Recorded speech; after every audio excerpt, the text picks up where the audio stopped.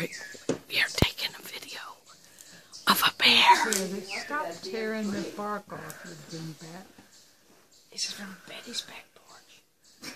This is from Betty and Anne's back porch. There is our camper. Thank God we were not staying in it. Here's the bear.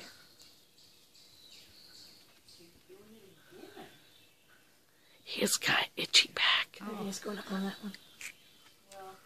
I don't, why is it, why is it the birch trees that do it? Maybe it's the bark. It's, it's I don't nice. know. Nice. Well, no, the other trees are pretty, you know. The thing of it is, he knows you're there and he doesn't even care. Remarkable.